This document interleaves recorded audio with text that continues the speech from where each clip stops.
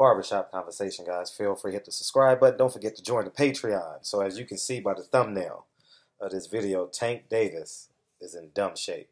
As as if Tank Davis would to give this his title, he's in ape shape. You know what I mean? I'm on the record at saying how much I think of Tank Davis's talent. Um, it looks like he's ready. You know, I'll tell you. Let me see when was this picture was taken three hours ago, so it's probably at the end of his workout. He done cut all the water weight. He done got out of him, but he looks great. He looks sensational. And um, here's what I'm hoping. um, after this fight, he understands that 173 is not his best friend. You know, he stays anywhere between 150, maybe 160. You know, I mean, give himself 20 pounds to work off. You know, 20, 25 pounds. That's probably real. I should say realistic for him. He's young. Uh, he can cut weight rather easier now, but he has to develop the habit. And as he get older, he has to get closer and closer to his weight. And uh, but I'm excited for this fight. Uh, Abner Mares is coming with every experience tool he possibly have, every physical tool he can possibly have.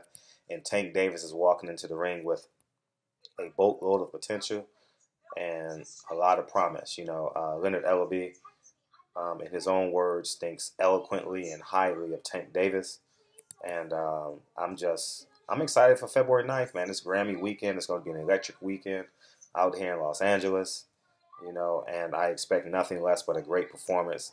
As you guys know, I have, I believe Tank Davis will win this fight, and um, um, that's it. So, but anyways, man, I, I just want to do this video and because um, I remember there was much being said about Robert Garcia saying that um, if Tank Davis doesn't make weight, the fight is off, or obviously have to pay a hefty penalty to fight Abner Mares. But um, we'll see what happens. Anyways, man, Kennedy's ready to get down out of her high chair, and uh, we off and run. So, anyways, man, barbershop conversations. February 9th is on and popping.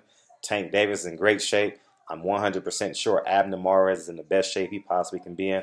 He's never missed weight that I know of. He always comes in in sensational shape and ready to go. Barbershop conversations. Talk to you guys soon. Peace.